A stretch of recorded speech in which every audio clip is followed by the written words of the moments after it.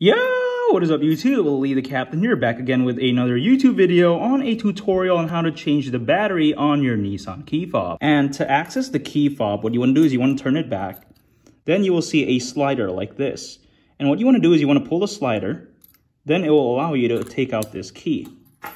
And then what you want to take is a flathead screwdriver, much like this one and you will pry open the case. And to pry open the case, if you see there's this gap right here, what you want to do is you want to put your flathead screwdriver, put it in here, and slowly pry it open. When it comes to the amount of force that is required to pry open the key fob with the screwdriver, it totally depends on how often you've opened the key fob before and how old the key fob is. I remember personally the first time I opened up this key fob, it required me to use a lot more force than I typically do now. However, that was perfectly normal since it hadn't been opened up before.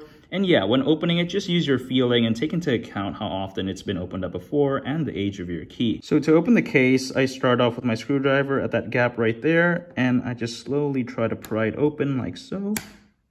Then you just want to start to the left once you've opened the right hand side.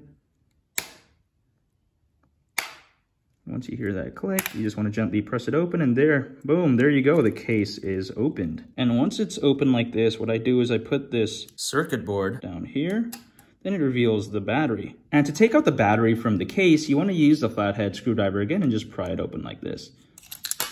There you go. And the battery that is used is the CR2025. You can buy a packet of these for $5 on Amazon. And if you take a look at the case, there is a plus sign and you want to match it with the plus sign on the battery. So you want to place it down where the plus sign is touching the other plus sign. So you want to place it down like that. There you go. And to put the case back together, I first want to start off with the circuit board and put it right here. And you want to make sure the buttons are in the holes and that the shape is matching. As you can see, it's kind of angling downwards here and I'm putting it like that. Then what I want to do is take the top part and do this. And what you want to do is you want to just squeeze it until you hear it click. Boom, there you go. After you're all set, you put the key back in the case like so. And there you go. It is done. And that's been it for today's YouTube video. Hopefully everyone enjoyed the tutorial and go ahead and like and subscribe. I would greatly appreciate it. I also make a lot of other YouTube videos on cryptocurrencies. So if you love cryptos and you're into cryptos, go ahead and check out my other YouTube videos. I would greatly appreciate that as well.